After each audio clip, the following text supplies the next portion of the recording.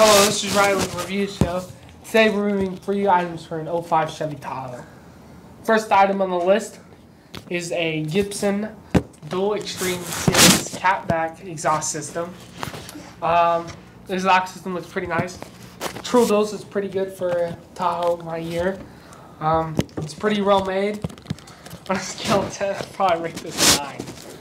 How do you feel about this item? Looks really cool coming out the sides behind the wheels. That looks pretty awesome. But it really sounds good too. I'd probably take out the catalytic converter because uh, that's probably going to destroy really fast. But I would. I'll probably do the same as well. Just weld something on there. So I'd probably recommend it at a 9 out of 10. Braxton, Um, I don't like it. Why don't I you? like them coming straight out the back, it is not coming the straight in the sides. back. No, it's coming sideways. Well, It's still eh, pretty cool.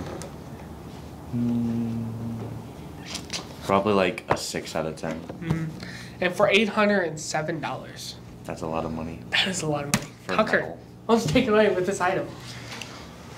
LED rim lights for a Chevy Tahoe. I don't know what to say about them because I don't really like them, but Uriah does.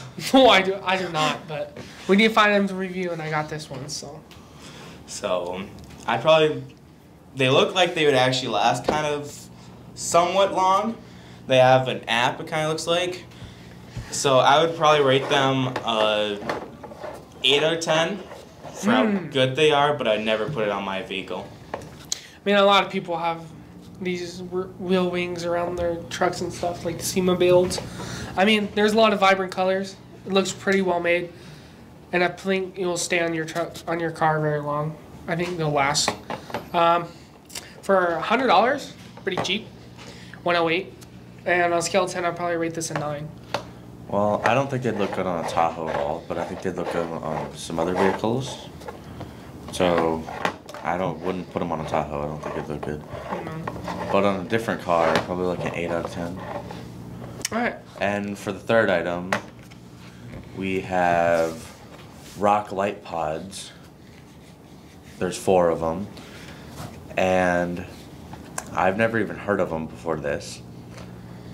But it'd be pretty cool. Probably like, uh, they're $64, which isn't bad.